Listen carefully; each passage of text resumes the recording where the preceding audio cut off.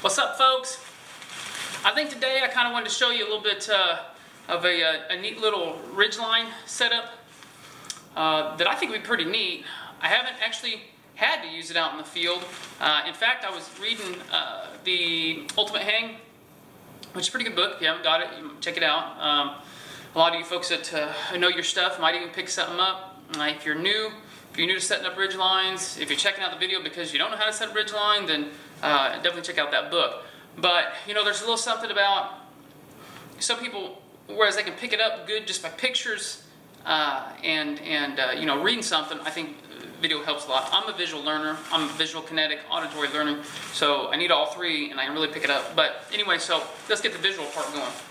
Got my tarp, my rainfly, got me some ridge line, and I'm going to be in, using a uh, cam jam.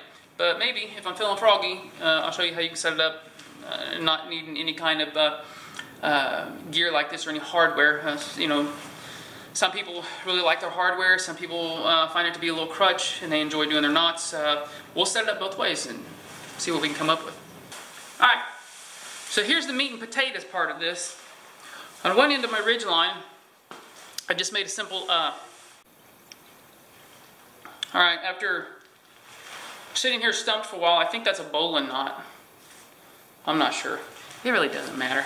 Anyways, so I got one end of my uh, rainfly here, and I've got my um, my nice little uh, carabiner. I'm having a hard time with the names of this stuff.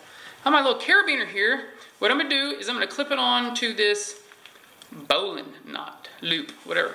There we go. And what's gonna happen is I'm gonna come around my tree here. This is my tree. And uh, I'm going to go back through, right through the center of this guy, and I'm to go over the top of it. Hopefully I'll tell you why here in a second, why we're going on top of it. So, I'm to wrap around this bad boy. Let's go around this way. And I'm going to go through my carabiner. I'm just to let her drop. Pull the rest of that junk through. Come on through. It just keeps going.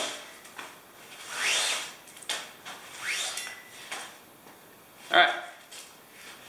Bingo, we got it. Now we're going to come over here to our other tree over yonder. Let's get this guy out of the way. Alright, now we're to our other tree here. I don't know if that camera can see me. And what I'm going to do is I'm going to go ahead and go uh, through this carabiner. Turn it the way I want it. And I suppose if you didn't use carabiners, you could still just pull it through uh, the hole in the tarp, the grommet, want to. Okay, it's going through here.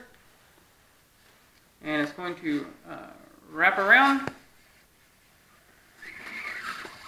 And pull the excess through around my tree. There we go. And this is where your uh, Nite Ize little um, cam jam's going to come in. I'm going to hook my cam jam to this carabiner, like a so. And then I'm going to use it for what it's for. I'm going to take the end of my ridge line, put it through the cam jam like it's supposed to be, and tighten her down.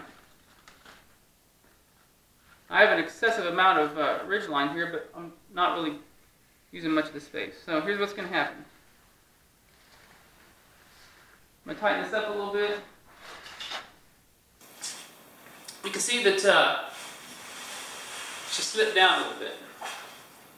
She slipped down a little bit. But I'm fixing to show you the beauty of this bad boy. Alright.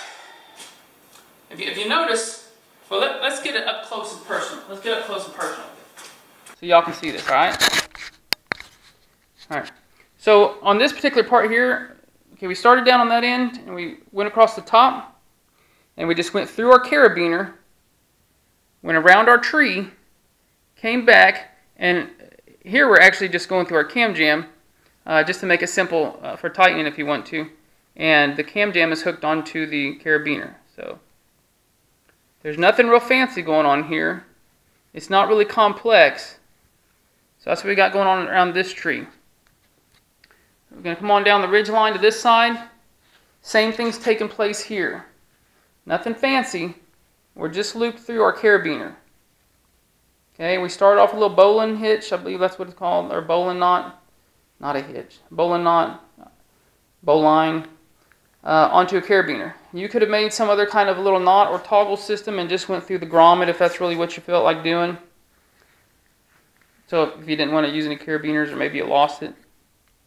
And uh, then of course we've gone up to our other tree. Now let's, let's, let's take note of something here. Obviously this is not a big, you know, uh, it's not the size of a tree, uh, nor is this other part uh, the size of a tree.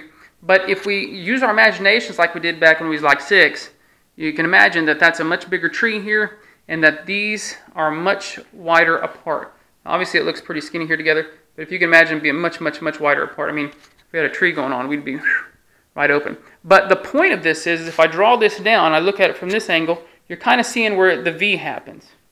Okay, and come to this side, you're seeing where uh, the V happens coming up along here.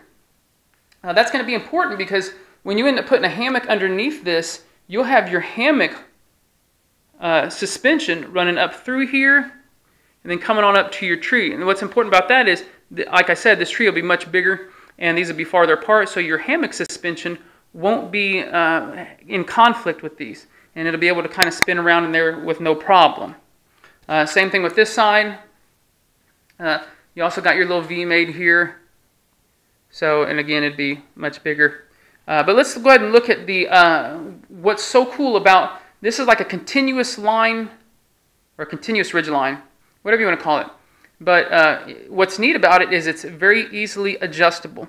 And if I show you up close here, if I wanted to, let's say for instance, if I backed off here, let's say for instance, which we are, we're far much farther to this side uh, than we are to this side, much, much farther. And let's say I wanted to actually center this guy a little bit. All I got to do is come up here and pull on one side of this, and my, there goes my tarp, rainfly. She's shimmying on down, and my thing's sliding down the pole too. So let's tighten her up a little bit. Okay, so I've, I've tightened it up a little bit in hopes that uh, uh, my other sides, pants won't fall down while I'm trying to do this. But anyways, all I gotta do is pull on one side and it slides the tarp down the other side. And there she goes.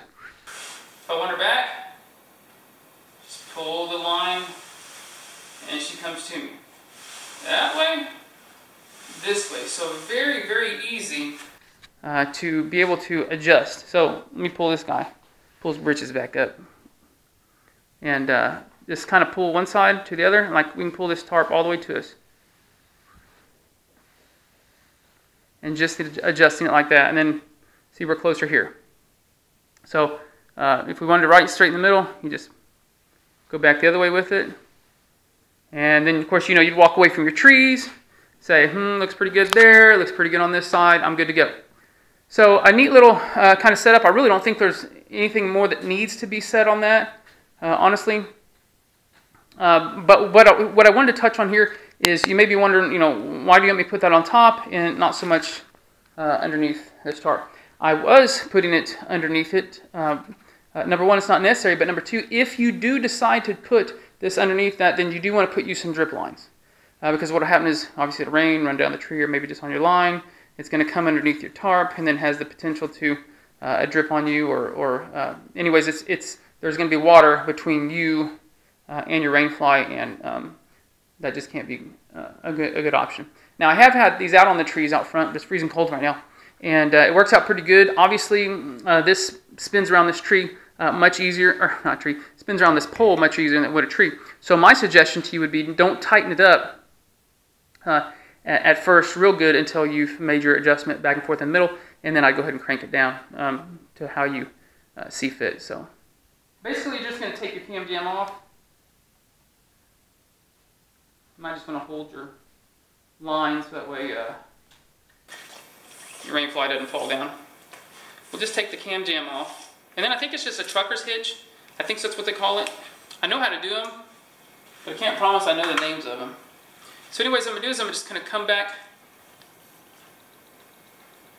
through here with my line, just through the carabiner.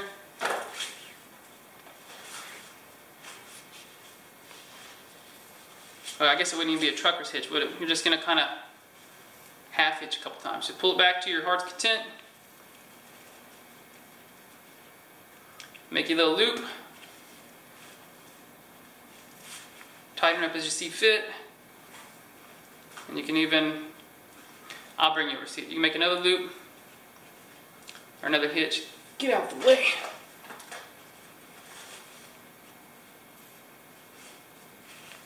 And you can probably call it good.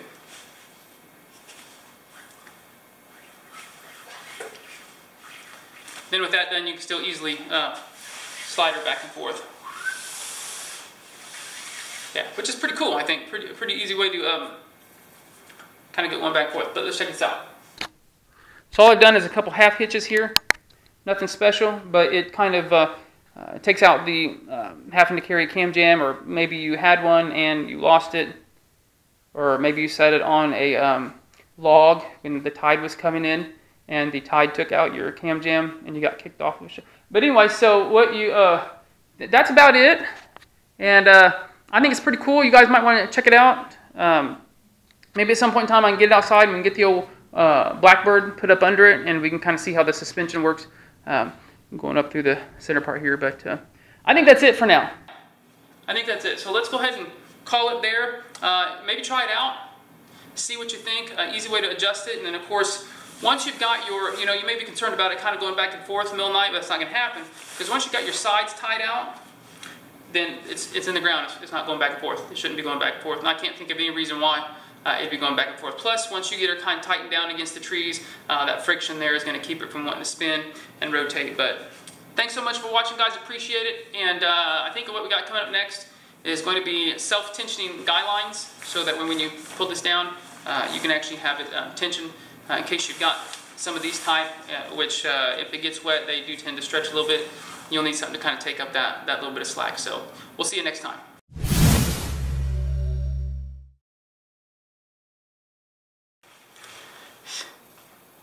What they call I always forget my knot names. It's the king of all knots. I call that a, um, God bless it. What the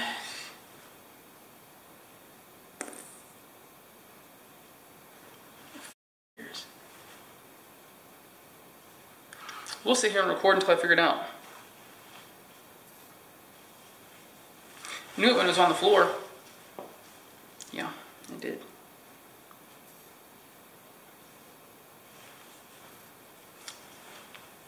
Can't think of it though. We'll sit here until I think of it. It's one of them knots. It's a good thing I know my knots. It's right on tip of my tongue.